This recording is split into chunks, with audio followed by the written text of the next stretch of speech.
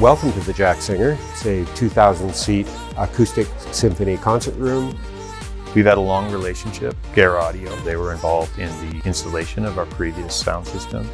It starts with drawings and design and designing the system so that it's tunable and alignable when we get on site and actually do it. As the client has the knowledge of how the room responds to certain situations to come up with, I think, a solution that's just perfect for this venue.